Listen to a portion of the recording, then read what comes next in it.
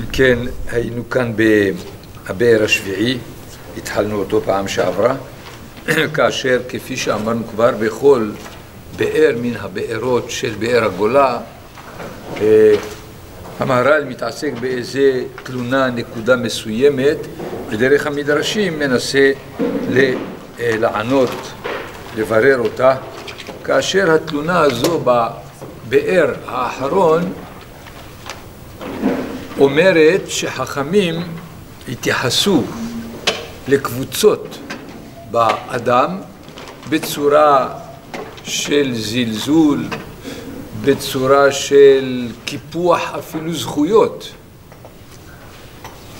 ולכן עברו חוק ומשפט ראוי של זה לא ראוי לחכמים. ואמרו את זה או כלפי עמי הארץ או כלפי אומות העולם ולקחנו כאן כדוגמה שדרכה רוצה המהר"ל להסביר את עמדת חכמים בכל מקרה. כאשר הדוגמה שלנו הייתה בתחום הנזיקים. הרי בתורה כתוב כי גח שור איש את שור רעהו ומת, כן, אם שור של מישהו, של ראובן, נוגח את השור של שמעון והורג את השור של שמעון, אז התורה אומרת אם הוא שור תם חצי נזק ישלם לו, ואם הוא שור מועד ישלם לו נזק שלם. בכל זה נכון, הדברים די ברורים, אלא שחכמים מן, ה, מן האמירה את שור רעהו, אמרו חכמים שור רעהו ולא שור של גוי. זאת אומרת, אם שור של יהודי נוגח שור של גוי והורג אותו, אומר לו תסתדר, אין לי מה לתת לך בכלל. ואם כן, יש כאילו כאן איפה ואיפה.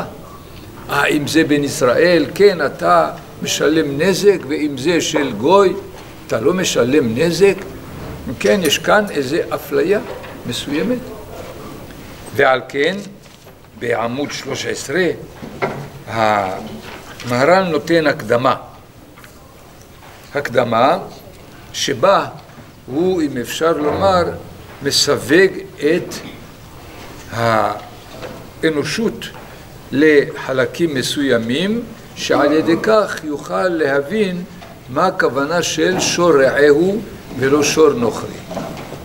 אם כן, בקבוצה ראשונה, זה בוודאי עם ישראל, העם הנבחר, זה שאגב לקח על עצמו הרבה הרבה מטלות, ועל זה אנחנו לא צריכים להרבות בדברים.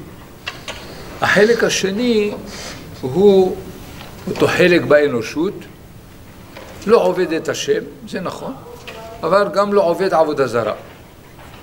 הוא מכיר במה שנקרא בשפת הפילוסופיה הסיבה הראשונה, זאת אומרת אין ריבוי אלהות ואין ריבוי כוחות, יש סיבה ראשונה שממנה הכל התפתח. אם כן, אי אפשר לומר עליהם שהם עובדים עבודה זרה.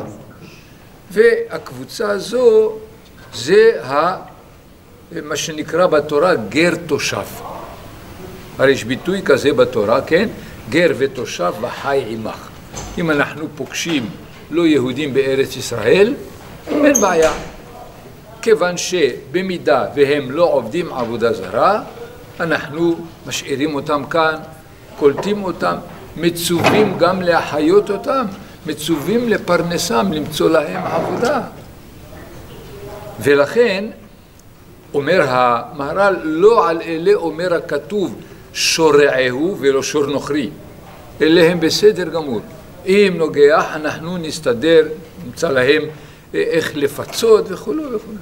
אבל הקבוצה השלישית הם אלה שבהגדרה של עובדי עבודה זרה או עבודת אלילים.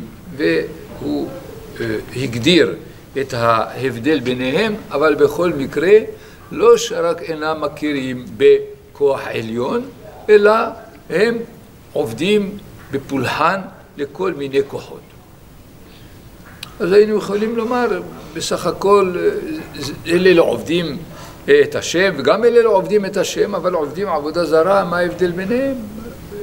למה צריך, למה צריך להבדיל בין שתי הקבוצות האלו? ברור לנו שאותם שעובדים עבודה זרה, התרבות שלהם היא לא רק בעבודה זרה, התרבות שלהם היא בגילוי עריות, בשפיכות דמים, הם ממש פורעים כל חוק.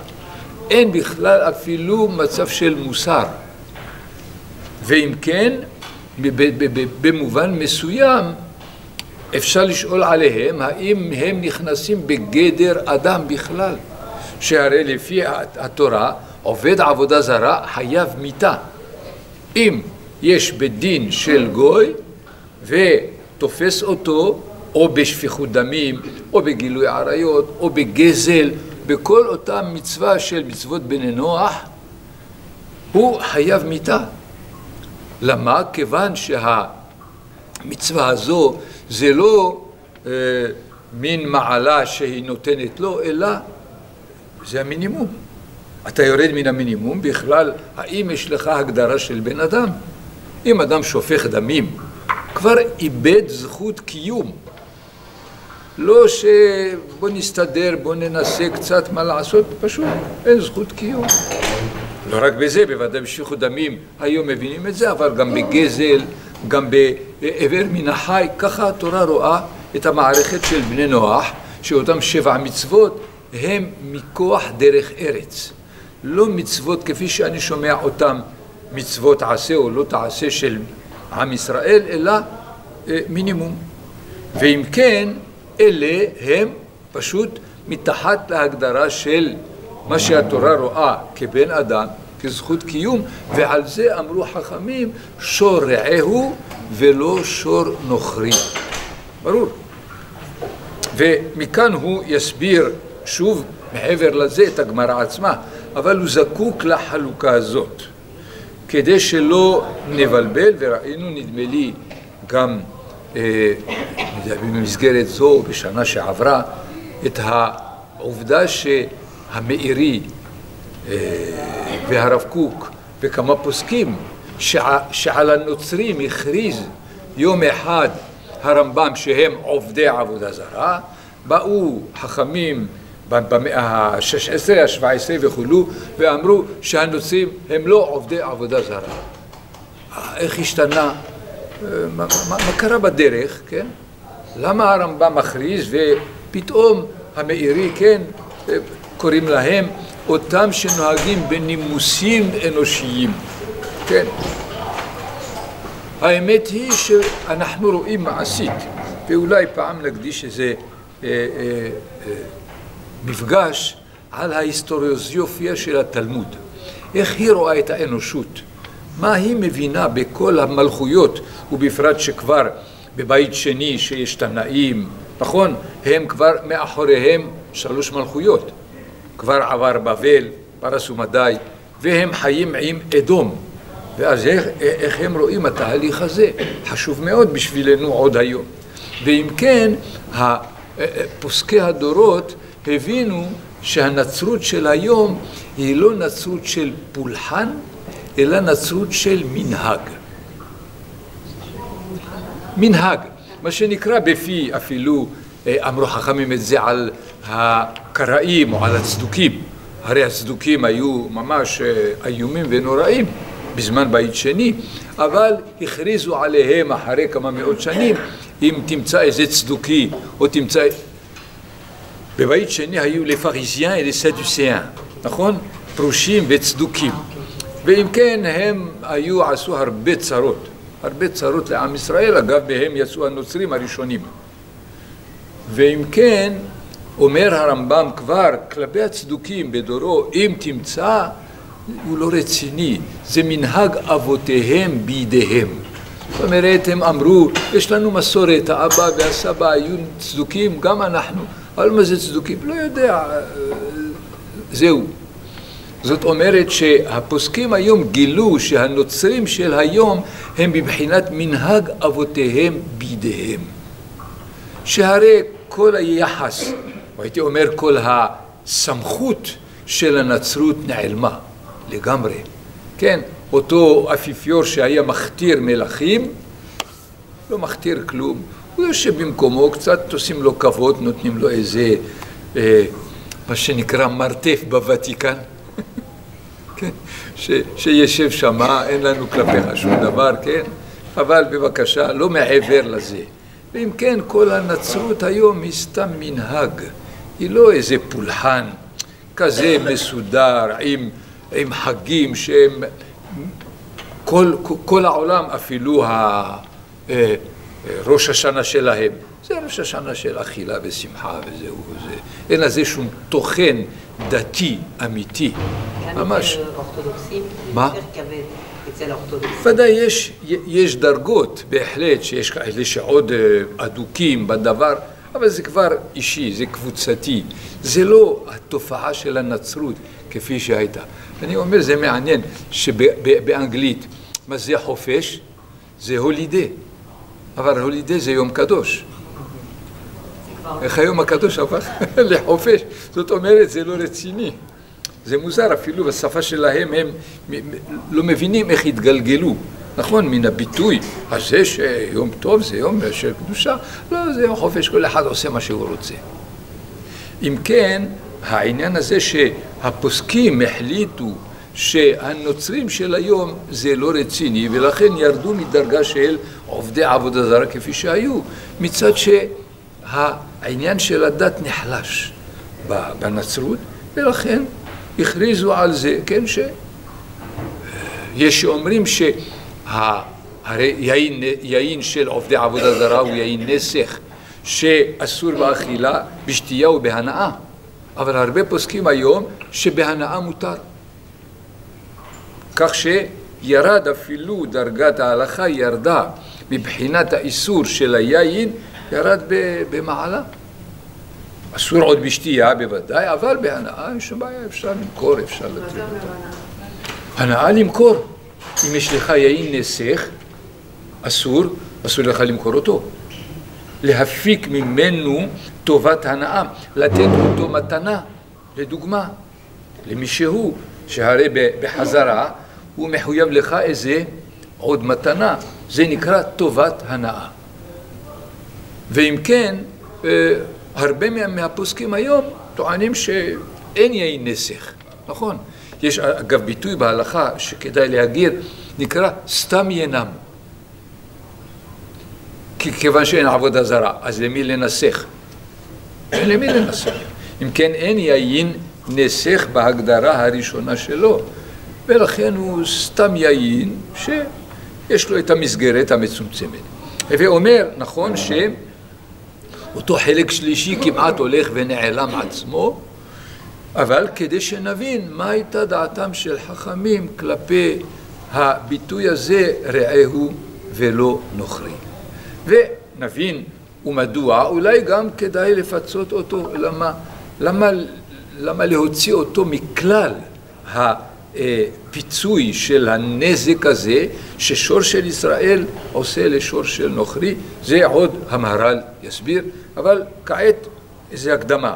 היא תועיל לנו גם לגמרות הבאות, כדי שנבין גם בתוך עם ישראל יכול להיות איזה קבוצות מסוימות מסוכנות שהתייחסו עליהן החכמים באותה חומרה לפעמים, ואולי יותר מאשר בחומרה של עובד עבודה זרה. את זה עוד נראה בהמשך. כן. זה הולך תמיד ביחד, שיש עבודה זרה וחוסר מוסר? כן, כן, ודאי. זה מה ש... זה מה שהתורה היא לא כל כך בעניין עבודה זרה עצמו כשלעצמו, אלא עבודה זרה, התוצאות שלו זה חוסר מוסר. תמיד? תמיד, תמיד. הרי כל, כל הפולחנים של עובדי עבודה זרה, למי שקורא, מי שרוצה לקרוא ספר מעניין של פרופסור נאר, לסנס דו פרופטיזם, יש לו הקדמה מצוינת שאומר כל הפולחנים של עובדי העבודה זרה בדורות הראשונים היו מלווים בגילוי עריות. זה היה אוטומטי, היו בוודאי באכילה ושתייה מאוד מופרזת, אבל בעיקר זה לא היה איזה פולחן רוחני טהור, נניח, אבל היה פולחן שמלווה כל הזמן בכל מיני מנהגים של גילוי עריות, ובוודאי כל, ה, כל האימפריות, ההשתלטות הזו של עם על כל העולם כולו, זה פשוט חוסר מוסר. אסור לך, אסור לך להשתלט על אחרים. זה הלכה. אסור לבן נוח להשתלט על אומות אחרות. כל אחד נמצא במקומו ואסור להשתלט, אבל היו משתלט, מה זה? חוסר מוסר פשוט. גם המוסלמים. כן, מבחינה זאת, ודאי. כאן, כאן הרבה יותר צד השפיכות דמים הוא שמביא את חוסר מוסר. בזמנם זה עבודה זרה שהייתה מביאה לזה, ולכן שבעה מצוות בני נוח הם אה, תוצאה שכל מי שעובר עליהם בצורה מסודרת, הרי הוא לא רק שוב בעבודה זרה או בשפיכות דמים, אלא בכל אחד מהם הוא שולל מאיתו הגדרת הקיום של בן אדם. אז אתה אומר שאסור מלחמות בכלל? מה? אסור מלחמות? אסור? מלחמות? ודאי, מה פתאום? בלי שום ספק. הרי שוללים אפילו קניין כיבוש מאומות העולם, לפי ההלכה. כיבוש אינו קונה. אם מלך כובש מקום, הוא לא קנה אותו. יכול מישהו לבוא ולכבוש ממנו בלי, שום, בלי שהוא גוזל ממנו משהו. אתם מכירים כאן אולי איזה מקום להרחיב טיפה את המושג הזה של כיבוש שגם אצל עם ישראל הביא לידי מסקנה הלכתית מאוד מאוד כבדה, לא ברורה. הרי כשנכנס יהושע, קידש את הארץ, מה זה קידש את הארץ? מהרגע שהוא כבש אותה, אז התחייבנו לקיים תרי"ג מצוות. שהרי באותם שבע שנים של כיבוש לא היו מפרישים לא תרומות, לא מעשרות, לא שום דבר, חוץ מחלה שהיה חייב להפריש אותה מן הכניסה לארץ מיד, כל המצוות האחרות, שמיטה, לא מנעו מהכניסה של יהושע שנות שמיטה. אחרי שבע שנים של כיבוש ושבע שנים של חלוקת הארץ לשבטים, התחיל מניין השמיטות. זה הכוונה של קדושת הארץ. קדושת הארץ היא מאיזה רגע אני נקרא עם שמקיים את המצוות של תורה. כל זמן שאיני את ההגדרה המינימלית, אפילו אם אני פה, זה לא אומר שאני חייב במצוות. טוב, חרב בית המקדש. חכמים אומרים, אומרים בטלה קדושת הארץ. והיה צריך שעזרא הסופר, כשיבוא, יחזור ויקדש אותה שוב על ידי כל הכנסת הגדולה, על ידי אמנה שלמה, והוא קורא, תקראו בעזרא, שמע פרק ענק, נכון? שמה הוא אומר? נקיים מצוות, נעשה, אבל זה לא ברור? לא. כי כיוון שהקדושה של יהושע הייתה על ידי כיבוש, בטל הכיבוש, בטלה הקדושה. כי הרי נבוכדנצר כובש את ארץ ישראל שוב, ואם כן כאילו שעברה למקום אחר. ואם כן שהשאלה קדושה ראשונה לא קידשה לעתיד לבוא. בעוד שקדושת עזרא, אומרים חכמים, קידשה לעתיד לבוא, כי לא הייתה בכיבוש. איך נכנסו לארץ ישראל בבית שני? על ידי רשות האומות. כורש נותן רשות ונותן לעם ישראל להתיישב פה, בלי מלחמה, בלי שום דבר. אותה קדושה גם לעתיד לבוא. אבל קדושה של יהושע רק לשעתה ולא לעתיד לבוא. למה אומר הרמב"ם? כי קדושת יהושע באה על ידי כיבוש, וכיוון שבטל הכיבוש בטלה הקדושה, אבל קדושה שנייה קידשה לשעתה ולעתיד לבוא, כי הייתה על ידי יישוב, על ידי שהתיישבו, פשוט מאוד. ומתי הקדושה השנייה? קדושה שנייה של עזרא, הסופר, כשהוא חוזר, נכון? שהרי אם בטלה עם גלות בבל, נכון? הסתיימה הגלות, חוזר עזרא, וכל אנשי כנסת הגדולה, וחכמים שואלים, האם מתחילים לעשות את המצוות? לא. כל זמן שעזרא הסופר לא חזר והחיל את הקדושה על הארץ, עוד לא. אבל הקדושה שלו קידשה לשעתה ולעתיד לבוא. אבל אתם רואים עד כמה הכיבוש הוא לא קניין אמיתי, כי אין שום סיבה שעם השתלט על עם אחר, לפי התורה. נוח חילק את הארצות, החלוקה הזו, זה מה שמחייב. כל מי שיכבוש, ידו על התחתונה. זה הכול. יבוא מישהו אחר ויכבוש, וגם לא רשות. אז, אז אתה עושה הבדל בין כיבוש ויישוב. כן, ודאי, ודאי. ואז ההבדל בין כיבוש ויישוב, איך אתה מ- מגדיר אותו בדיוק, היישוב? מה עושה... היישוב הוא שאנחנו מקבלים רשות מגורם מסוים, חיצוני, או, או, או ממה שאנחנו מיישבים את המקום בלי התנגדות, זה נקרא יישוב. פשוט מאוד. נכון, כיבוש זה יהושע שעושה מלחמה עם 31 מלכים שנמצאו, תקראו ביהושע, נכון? 31 מלכים שכבש אותם. הם לא הסכימו, אם אפשר לומר. לא אמרו לו, ברוך הבא, ייכנס, אנחנו יודעים שזה הארץ שלך, אם זה היה, היה יישוב. אבל הם לא קיבלו את זה. והייתה מלחמה שבע שנים, כן. לכן, ברוך השם, אנחנו חוזרים פה על ידי יישוב, האו"ם הסכים. ואתם לא שואלים אף פעם, איך הגויים נותנים לנו רשות? סליחה. אבל לא צריך את זה לכאורה, כי הקדושה של עזרא הוא נשארה. כן, בוודאי, מבחינת הקדושה. אלא שכאן יש לנו עוד תנאים אחרים של עשרת השבטים, שכל תושביה עליה וכולו כדי לקיים את המצוות. חשבתי שאת שואלת, אז למה לא מקיימים את כל המצוות?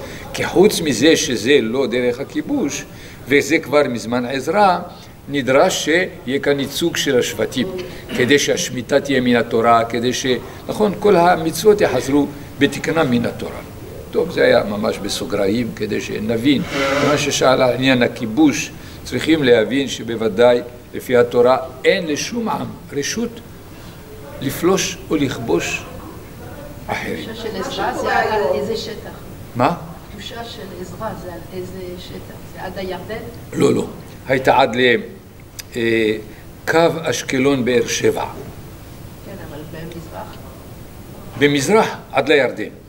בהחלט, כן, כי השבטים גלו וכבר ישבו שמה, סנחרי וכל ה... נכון, כל ארם ישבו, התיישבו שמה. אז לפי מה שאתה אומר, שאנחנו עכשיו יושבים פה ברשות האומות, כן. מה לגבי השטחים שלא היו בתוכנית החלוקה? לא, הבעיה כאן, לא...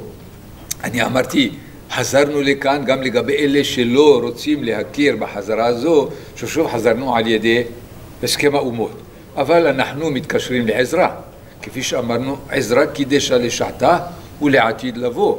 ועל כן כל הוויכוח, גם כן אתם מכירים אותו בשמיטה, האם אפשר להביא אה, מאילת ומכל הדרום, כיוון שאותו קטע לא יתקדש על ידי עזרה, כך שהוא לא כלול בשמיטה.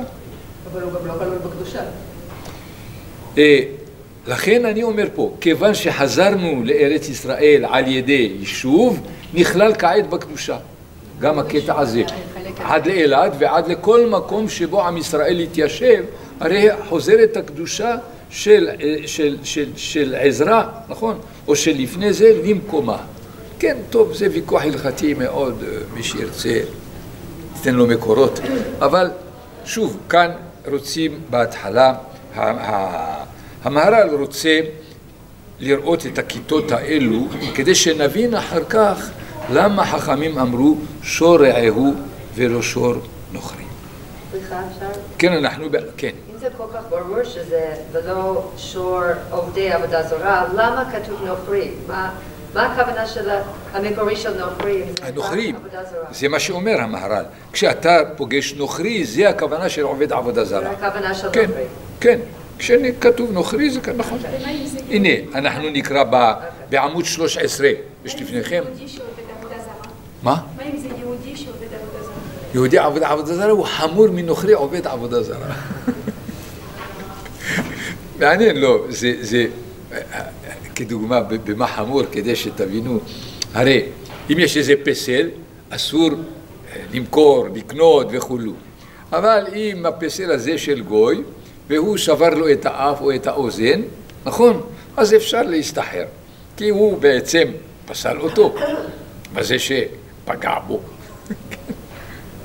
אבל אם זה עבודה זרה של ישראל, זה לא יעזור. צריך לכתוש אותה לאבק, ואז התבטלה העבודה זרה של ישראל. טוב, אה, היהודים תמיד הם בטופ בכל דבר. גם לכאן וגם לכאן. אם כן, אה, אה, בעמוד 13 לפניכם, בסעיף האחרון, כאשר יתבאר לך אלו שלוש כיתות, הנה תדע, בכל מקום אשר הזכירו משפט הגוי ומעשהו, כאילו אמרו בפירוש החלק אשר אינו עובד הסיבה הראשונה, זאת אומרת עובדי עבודה זרה, נכון? רק הם לקחו לעצמם לעבוד מה שירצו. לא מכירים, נכון, באיזה אה, כוח עליון ראשון, אלא יש כוחות הרבה. ולפיכך מה שאמרו שור של ישראל שנגח שור של נוכרי בין תם בין מועד פטור, נוכרי האמור כאן הוא החלק השלישי. ברור, כן?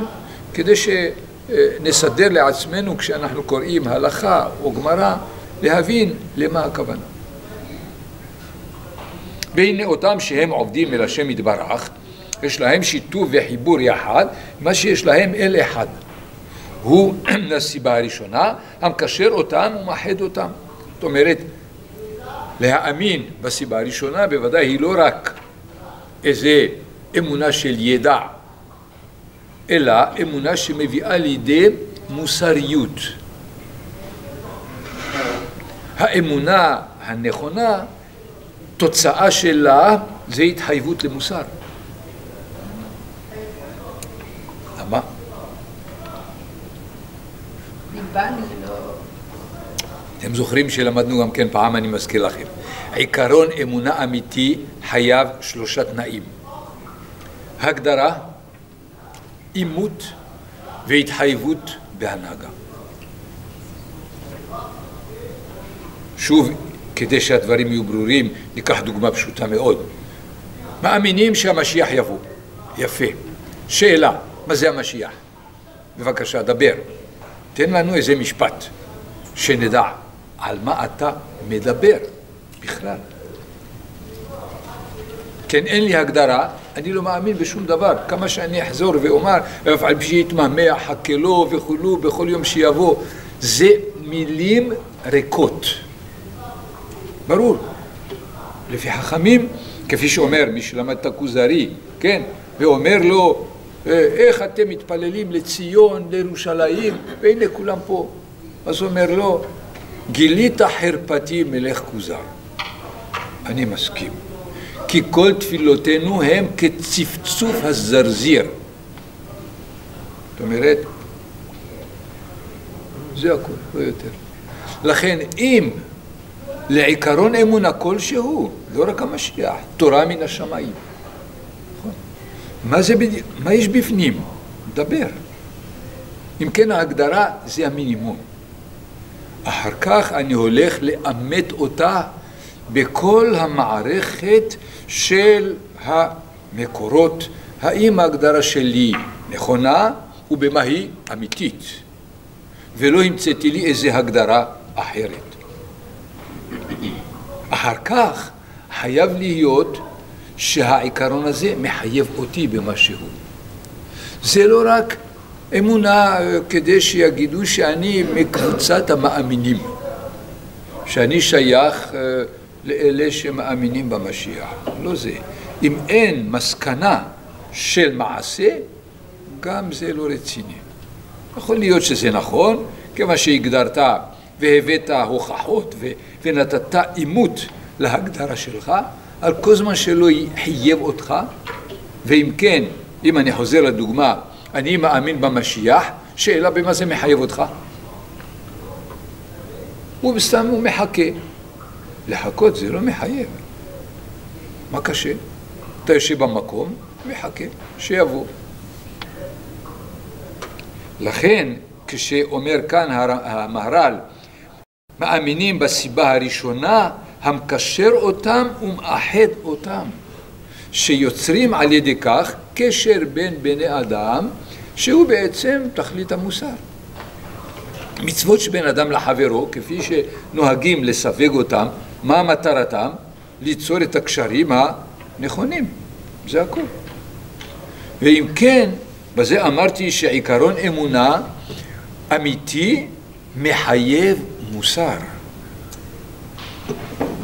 למשל המוסלמים, אז הם מאמינים זה שצריך, אה, לא. צריך להרוג אותו. לא, לא, לא, לא, לא, לאט לאט. בוא, בוא נשים כאן הבדל קטן, נכון? שהוא עושה את כל, כל ההבדל הזה.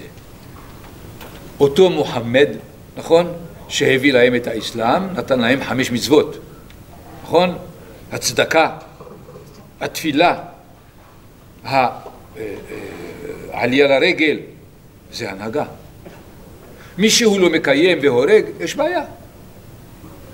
להבדיל, להבדיל, להבדיל, כן? התורה אומרת, שמור את יום השבת, אם לא ונכרתה, יש מחללים שבת, בסדר, אני מבין. אבל בעיקר, נכון, במוצא, לא כמו הנצרות. הנצרות ביטלה כל התנהגות. היא המשיכה ואמרה, כדאי עוד להתנהג בדרך ארץ, כן? כי הבינה, ולא יהיה כאן התפרקות ואנרכיה טוטלית, זה ההבדל בין הנצרות לאסלאם. האסלאם מכיר בהתנהגות מחייבת. בנצרות שום התנהגות. לכן, כל עיקרון אמונה אמיתי מחייב התנהגות מוסרית. אם לא, הוא ריק. פשוט מאוד. אם כן, אומר אחר כך, אך אותם שהם עובדים זולתו יתברך, הם נבראים, נבדלים מן כל הנבראים, אשר נבראו לעבודתו. זה החלק השלישי. ולכן, ראוי מצד זה לפתור שלא יחייב בהזק הבהמה לבהמה שלהם, כי אין ראוי שיהיה אדם חייב על שמירת הבהמה שלו. כי דבר זה שישמור בהמתו שלא יזיק לאחר, הוא דבר חידוש בתורה. נעצור פה. נכון. בואו ניקח כעת את ההלכה כשלעצמה. השור שלי נגח את השור של החבר שלי והרג אותו. מסקנה? מה ההתנהגות הנכונה? יש הרבה התנהגויות נכונות, אין שום בעיה. חברה שתבוא ותגיד שיסתדרו ביניהם. זה הכל. אני לא פגעתי בך. השור שלי נמצא בשדה. מה, אתה לא תגיד לי לשים עליו כבלים כדי שלא יזיק. זה לא, זה לא הגיוני. השור שלך היה יותר חלש, מה לעשות? מצטער. באמת, אני מצטער. אבל אני לא חייב שום תשלום, וזה מוסרי. ברור. מהרגע שהחברה החליטה על זה, זה התנהגות מוסרית לחלוטין, הגיונית, פשוט מאוד. ודאי לפגוע בך, זה לא מוסרי, אבל אה, אה, אבן שלי מהגג אה, נפלה ושברה לך את המכונית, מה לעשות, אני לא יכול לשלוט על הרוח. תקלות, ואם כן, אני לא חייב לך. התנהגות מוסרית. התנהגות מוסרית אחרת, והיא, אני דורש מכל אדם שיהיה זהיר בנזק שהוא עלול בדרגה ראשונה, שנייה, שלישית, רביעית, מה שתרצה, ואם זה בדרגה ראשונה, ישלם לחברו. התנהגות מוסרית. בהחלט, גם כן. כי כל ההתנהגויות האלו כשהן מקובלות בין העם, לא יוצרים ניתוק. ברור. לכן, בסדום גם, מה? לאט לאט. בסדום גם קבעו לא, לא, לא, לא, לא, לא. מוסר שלהם. ממש יפה. חכמים אמרו כדי להבליט יותר את המוסר של סדום, אם מישהו היכה חברו באבן ויצא לו דם, מי שקיבל את האבן משלם לחברו. למה? מה הטעם? כי אתם מכירים, מכירים מה זה הקזת דם על ידי רופא. בזמן האדם שהיה לא מרגיש טוב, היו עושים לו איזה חתך פה, ועל ידי שיוצא הרבה דם, אז הוא מרגיש יותר טוב. צריך לדעת איך עושים את זה, וזה היה נהוג בזמנם. הקזת דם, כן, לאלה שלא מרגישים טוב, אה, היה רפואה. אם כן, אומר לו השופט של סדום ועמורה, אומר לו, הרי הוא הקיז לך דם, אתה צריך לשלם לו. בוודאי שיש אבל פה... זה היה מוסכם בחברה. כאשר, זה ההס... התנהגות מוסרית. נכון, כאשר ההסכם הזה מה גרם להוציא כל העניים, לזרוק את כל החלשים, הגעת ללא מוסרי, אבל המוסר הוא יחסי. ברור. מה? המוסר הוא צריך להיות יחסי להסכם של... אם זה מוסר זה, זה, יחסי, זה, זה שוב האמונה שלנו שהמוסר לא יכול להיות יחסי, אבל אומות העולם לא קיבלו את זה ונשארו ברמה של מוסר יחסי. אז התורה אומרת אין בעיה, אני איתכם, אבל המסקנה חברה מסודרת. לא זורקים חלשים, נכון? לא מאפשרים אי צדק, נכון? להיות מוסרי בטופ, ככה אומרת הגמרא על פסוק בחבקוק. עמד וימודד ארץ, ראה ויתר גויים. פסוק. מה זה ראה ויתר גויים? מה ראה ומה התיר? אומרת הגמרא, ראה שהם לא מקיימים שבע מצוות בני נוח, כן? כתורה מן השמיים, אז התיר אותם להם. אמר להם, תעשו מה שאתם רוצים. אתם לא רוצים לקבל, אלא. הגמרא קפצה, מה, הכל מותר? לא, לא, לא, לא, לא, לא התכוונתי לזה. התכוונתי שגם אם כעת בן נוח יקיים את שבע מצוות בני נוח, לא יקבל עליהם שכר כמצווה, כמן השמיים.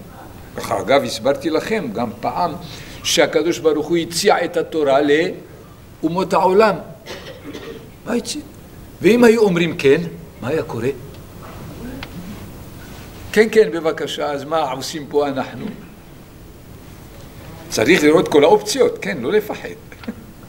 היו אומרים כן, אז מה קורה? זהירות. לא הציע להם את תורת ישראל. אין כאן שום היגיון להציע להם פסח כאשר הם לא יצאו ממצרים. איך להציע להם הנחת תפילין כאשר זה קשור ליציאת מצרים? הוא הציע להם שבע מצוות בני נוח, ואת זה הם סירבו לקחת. אם היו מקבלים, ברוך השם העולם היה קצת יותר מסודר, ועם ישראל היה עם ישראל, ואומות העולם היו אומות העולם, הכל בסדר. אבל גם את זה לא קיבלו. לכן אומר אה, חבקוק, ראה ויתר גויים, ראה שהם לא מקיימים שבע מצוות, ואמר להם, תעשו מה שאתם רוצים.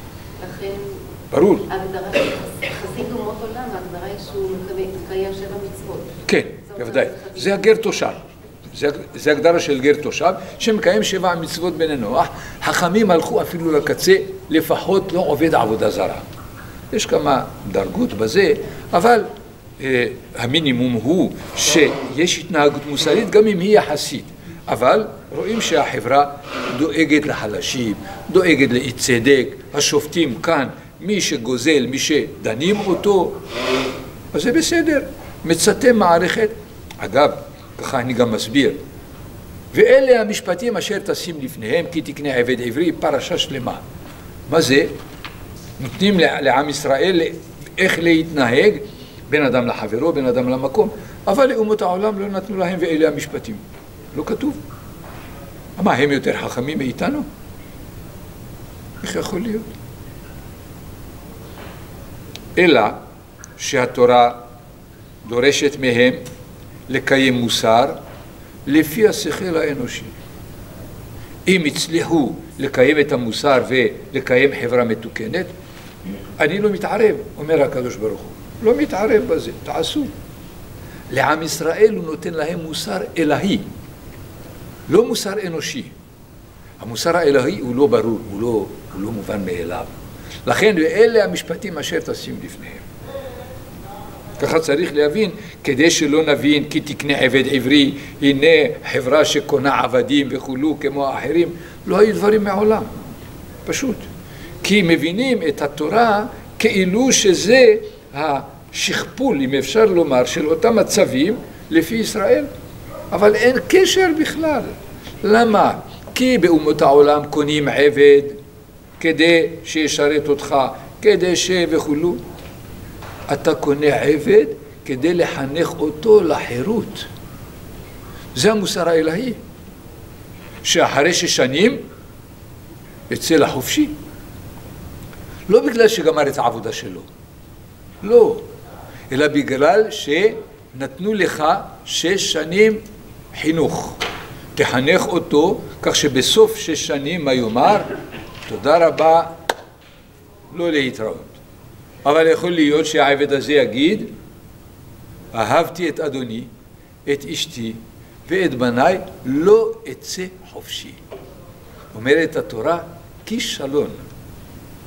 אדוני האדון, נכשלת, טוטלית. ביקשנו ממך שתעשה מהעבד הזה בן חורין, והמסקנה שהוא רוצה להישאר עבד, כישלון. ועל כן, והגישו אדוניו אל האלוהים, והגישו אל הדלת או אל המזוזה, ורצה אדוניו את אוזנו במרציע. למה האדון ירצה? שליח בדין יעשה את זה. לא, להגיד גם לאדון, גם אתה נכשלת איתו.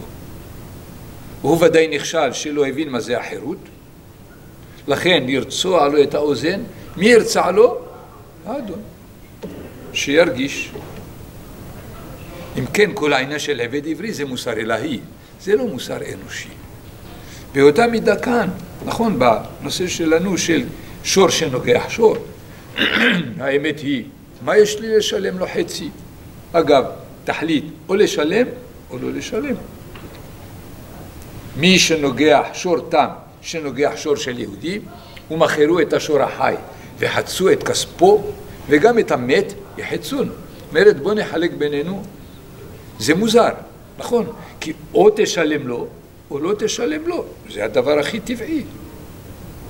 כן, מה, מה האופציה השלישית הזו? האופציה השלישית היא זו לפי התורה. המוסר הנכון הוא לא לשלם.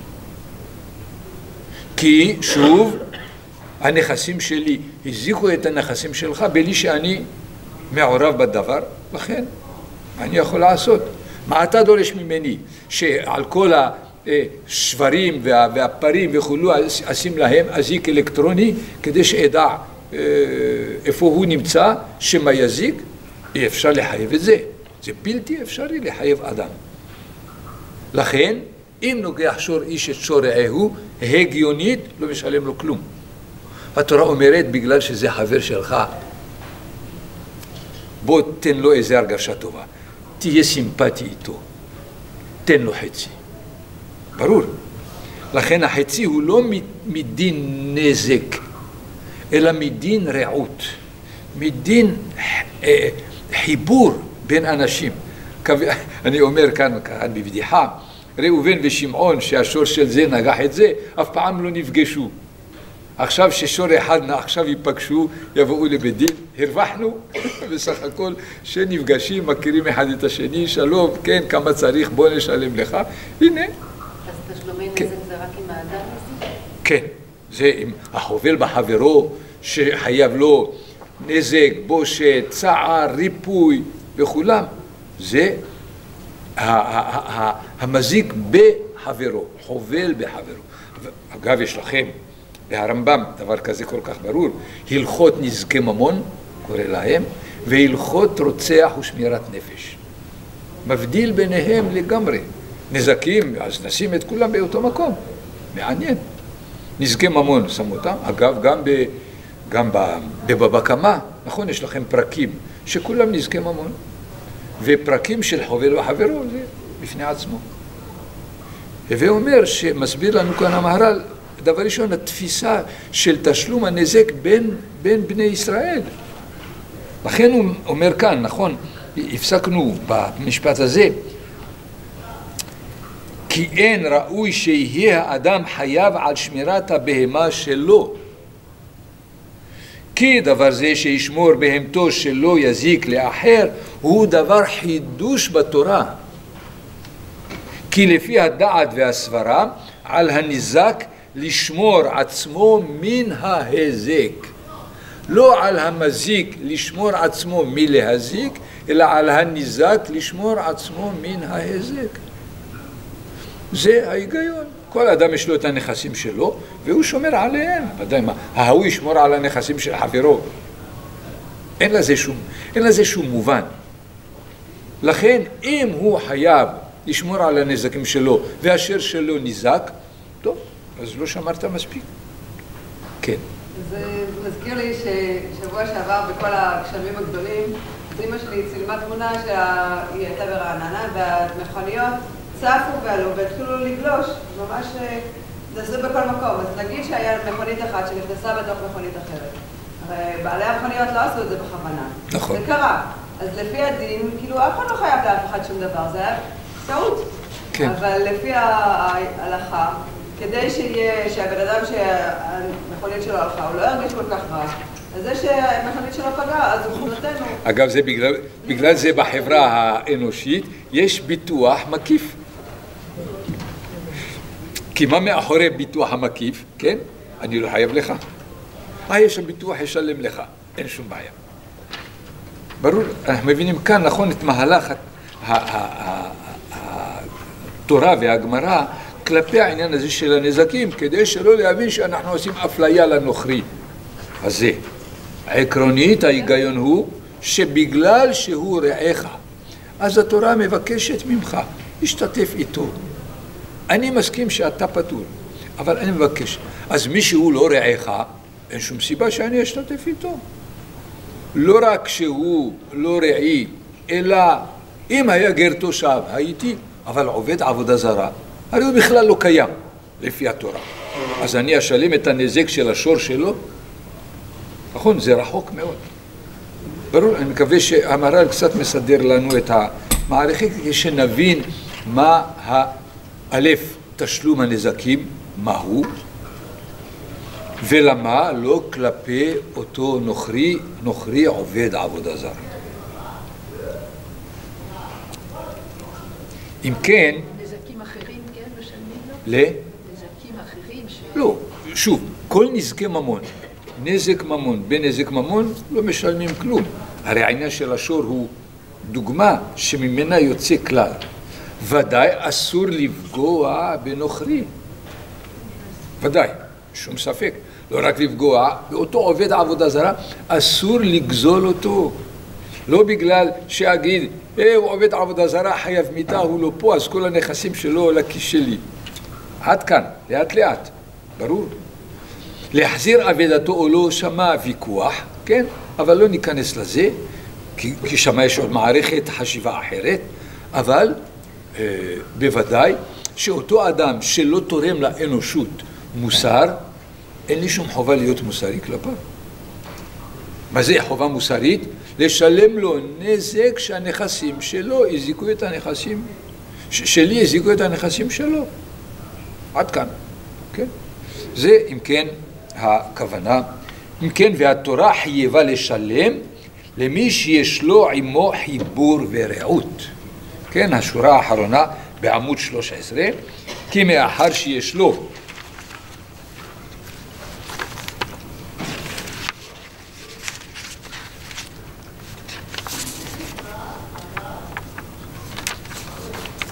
כן, מאחר שיש לו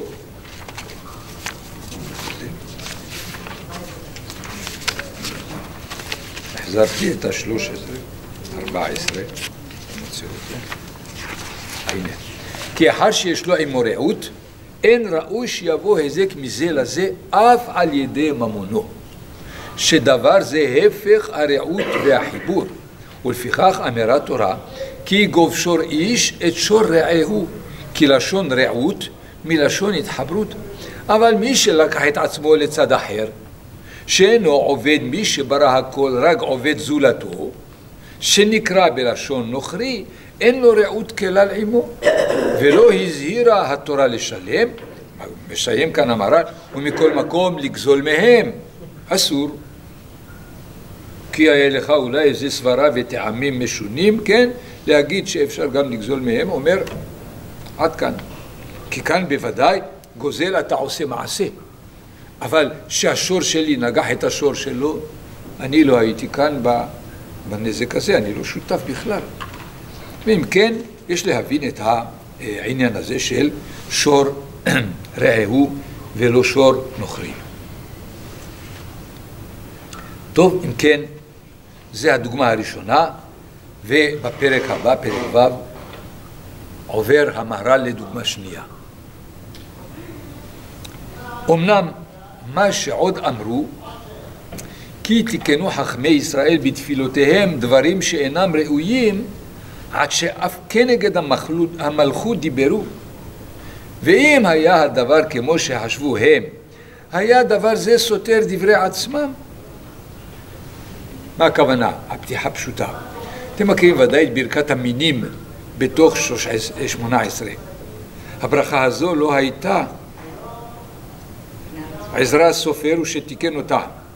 עזרא הסופר עד לחורבן בית שני, 420 שנה.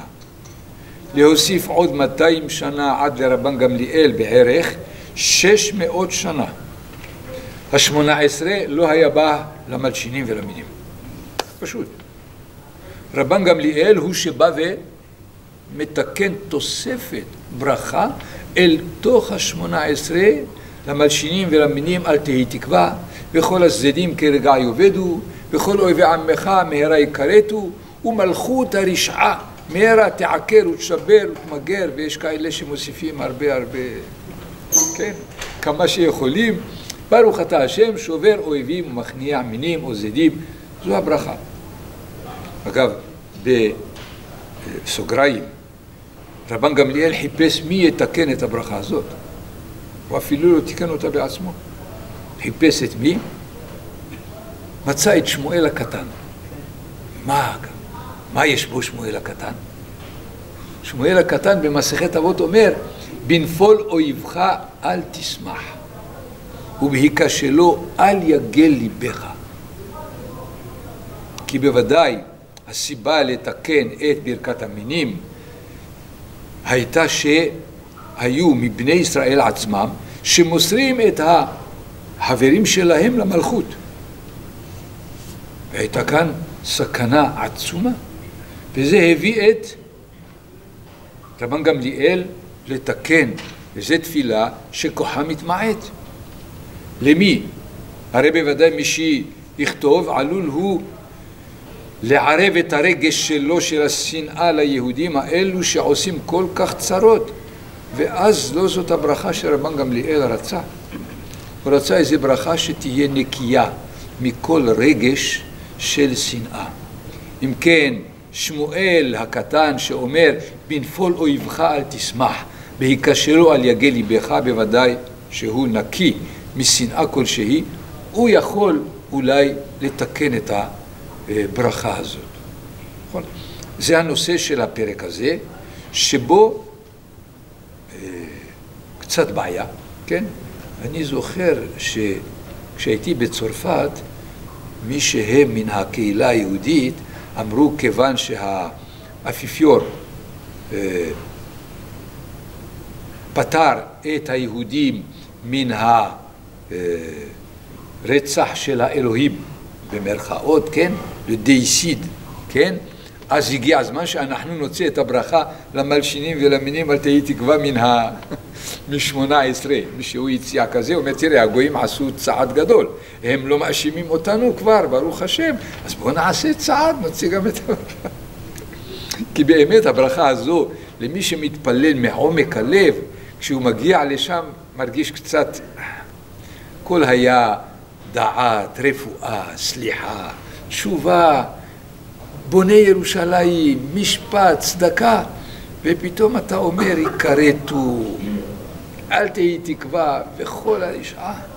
זה ברכה לא, הייתי אומר, לא סימפטית בכלל. אבל כנגד מי הברכה? מה? הברכה הזו כנגד המוסרים היהודים. אז הם נקראים מינים? לא, זה המלשינים. המינים אלה כמו אלישע בן אבויה, נכון? שהיה מין, זאת אומרת שהיה גורם, ל, נכון, למישהו אחר לצאת מדת ישראל ולהתחבר לתרבות היוונית, להתחבר לפילוסופיה היוונית וכולו, שעל ידי כך היה הוא הופך להיות כופר. זה המינים. והנוצרים גם יכולים מינים. כן, במידה מסוימת, בוודאי בזמנם היו הצדוקים, כפי שאמרנו, היו הנוצרים הראשונים, ולכן נכללו הצדוקים בזה, בוודאי. למלשינים ולמינים היו שני טיפוסים. אלה אה, מי שמסרו או את הנכסים של יהודי או הוא עצמו ליד הרומאים, והמינים אלה שהיו גורמים ליהודים להמיר את דתם, כן, אם אפשר לומר, ולחבק דת נוכרייה של היוונים או של מישהו אחר, של הזורואסטרים, של היו כל כך עוד כל מיני דתות, כן, במזרח, וכלפיהם ההשפעה שלהם הייתה גדולה כל כך, ולכן תיקנו למלשינים ולמינים אל תהיתם. מינים, מינים הרטיק. זה עדיין אקטואלי. עדיין אקטואלי, אולי בגלל זה הברכה עוד פה. רגע, עם המיסיון? המיסיון לא רוצה לפעול בירושלים? כן, בוודאי ובוודאי, לכן עם ישראל עוד לא סילק את הברכה הזו, בלי ספק, בהחלט. אבל לכתחילה, מה שכאן המהר"ל אה, נוגע בו ורוצה דבר ראשון לפתור אותו לפני שיפרש את הברכה, כתוב וכל מלכות הרשעה מהרה תעקר נגד המלכות, גם הם. אז מה הם רוצים, אנרכיה פה? זה לא ברור. אומר כאן המהר"ל, עוד לא משיב, עוד לא נותן את התשובה. אומר, אם אתה מבין ככה, אז אתה בעצם יוצר סתירה פנימית במה שחכמים אומרים. לא כל כך במה שהם אומרים נגד המלכות, אלא יש סתירה. יש משנה שאומרת, הווה מתפלל בשלומה של מלכות. מי שכתב את הברכה הזו לא ידע את המשנה הזאת. בלתי אפשרי. לכן אי אפשר שתבין את הברכה כפי שאתה מבין אותה, כי אתה יוצר סתירה פנימית במאמרי חכמים עצמם. זה מה שהוא אומר. ואם היה הדבר כמו שחשבו הם, היה דבר זה סותר דברי עצמם. כי ברכה זו שהיא קללת המינים. שמואל הקטן תיקן אותה ביבנה לפני חכמים. והרי משנה ברורה במסכת אבות, הווה מתפלל בשלומה של מלכות, שאלמלא מוראה איש את רעהו חיים בלעו. אז איך, איך פעם יגידו את זה ובתפילה יגידו הפוך. וידוע כי מה שאמרו הווה מתפלל בשלומה של מלכות, אין הכוונה שיתפלל על מלכות ישראל. שאם כן לא היה צריך לתת טעם שאלמלא מוראה איש את רעהו חיים בלעו. שעל מלכות ישראל יש לו להתפלל, ששלום מלכות הוא קיום של ישראל להמשיך שלומם, וגדולתם ורוממותם והצלחתם. ולכן מה שאמרו הווה מתפלל בשלומה של מלכות, היינו שאר מלכות שאינו מישראל. להתפלל על מלכות של גויים. כן, מכאן אתם מכירים בוודאי, פרייר פור לרפובליק, כן, ותפילה על המלך שהיינו עושים במרוקו, וברוסיה על הצאר הרוסי, כן, למרות שהיה צורר צאר, כן. עם כל זה הייתה תפילה. מתוך זה ומתפלל בשלומה של מלכות גוי, ולא של ישראל, כי על ישראל הסיבה היא לא איש את רעהו חיים בלעו, לא, אלא להגדיל את מלכות ישראל. על זה מתפללים. כמה אלה שלא אומרים את התפילה המדינה, הם נמצאים בסתירה גדולה לגבי המאמרים של החכמים. זה פלאי פלאים, איך אפשר להגיע למסקנות שהם סותרים את חכמים, הנה המהר"ל וכל החכמים, והם לא רוצים. אגב, אני מסיים בפעם, לא פעם אלא מאותה פעם, כשאני עושה תפילת של שלום המדינה, אני אומר, ויתקן בעצה טובה ראש ממשלת ישראל מר בנימין נתניהו. ואני כשאמרתי, כולם קפצו, אמרתי להם, מה קרה? חכה, מה יש? מה, מה, מה, מה אמרתי? כפירה? מה, מה קרה? הרי אני אומר בתפילה את מוחמד החמישי ואת חסן השני, אה, בנימין נתניהו זה סמרטוט, כן. אז מישהו אומר לי, ואם בני גנץ יעלה? אומר, אני אומר אותו, בהחלט. מה פתאום? נבחר על ידי עם ישראל, אני מחויב לו תפילה. אין מה לעשות. הוא לא יהיה פחות ממלך גוי לעם ישראל? איך יכול להיות? צריכים להחזיר את הדברים לפרופורציות הנכונות שלהם. ולא יהיה כאן, כל מי שיאמר מה שהוא, יהיה צודק. הנה, יש לנו כאן את העובדה שהווה מתפלל שלמה של מלכות גוי, לא של ישראל. כי של ישראל הסיבה היא לא איש את רעהו חיים בלעו. הסיבה להתפלל על מלכות ישראל כדי להגדיל הצלחתם, כדי להגדיל מלכותם, זה הסיבה שאנחנו מתפללים על מלכות ישראל. לכן כאן ההקדמה הזו, כדי שאחר כך ניכנס לתפילה עצמה להבין אותה לעומק. תודה רבה, כולכם ברוכים.